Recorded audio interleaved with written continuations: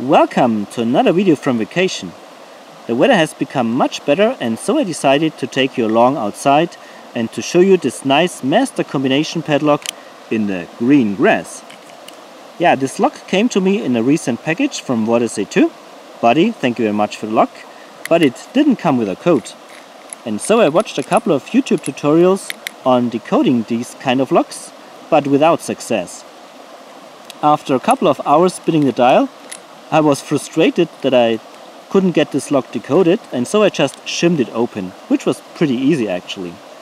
But I was still curious why this lock seems not to be susceptible for the methods taught in these tutorials and so I just opened it up. Yeah, it was really easy, it was frighteningly easy to get this back plate off. I took a windshield wiper blade and pried open this crimped rim and after a couple of seconds, really after a couple of seconds, this back plate came off. And so we now we have got a nice cutaway lock uh, where we can look inside and inspect the internals working. Um, I will explain these, these methods that usually apply to decoding these locks in a, a later video and I will also explain why this lock is not susceptible for these methods. But for now, I will just decode this lock by spying inside. So we can see when we look inside this hole here, just a second, when we inspect the internals here in this lock, when I pull on the shackle, we can see where the piece wants to go down. And that's the place where we need to adjust the disc's gates.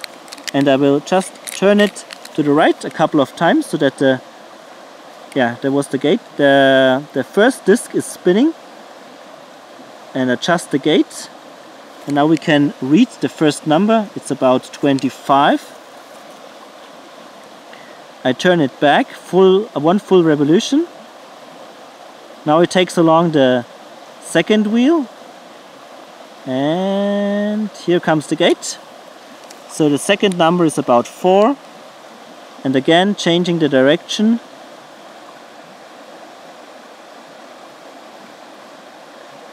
adjusting the last gate which is about 21 so here we go and open. Yeah that was really easy and I don't know if they still make the locks in the same way that you can easily take off the back plate and decode the lock by just looking inside. Anyhow was quite a fun time to play with this lock. Uh, yeah thank you very much for watching happy picking and decoding.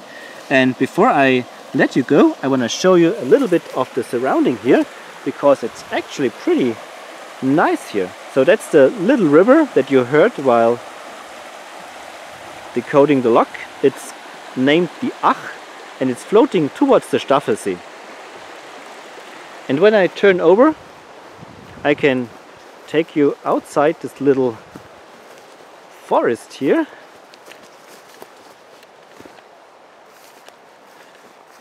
and we can look around against the sunlight. Sorry for that.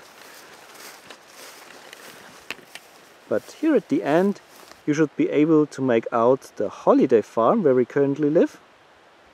In this left building on the first floor. Very nice place to be. So yeah that's it Thank you very much for watching. Happy picking, decoding, happy holiday, if you're lucky to have one. Cheers and bye bye.